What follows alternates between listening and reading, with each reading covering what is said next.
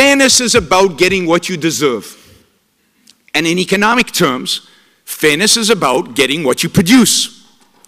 For whatever reason, and there are lots of reasons, some of them, some of them have to do with luck, some of them have to do with choices.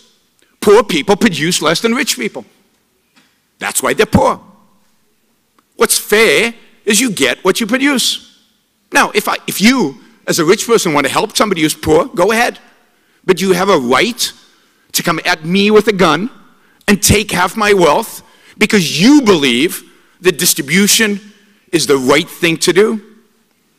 I say that's very unfair, that's very unjust, and that is the exact philosophy that is the opposite of what has made us so successful and so rich as a society, which has resulted in such a decline in poverty.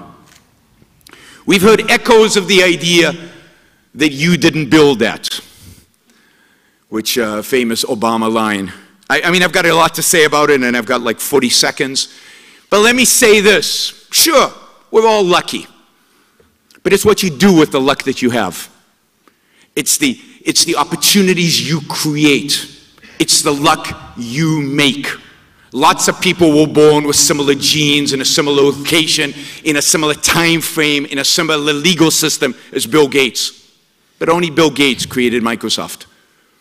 So luck plays a factor, no doubt. But at the end of the day, the luck that matters is the luck you create. Thank you all.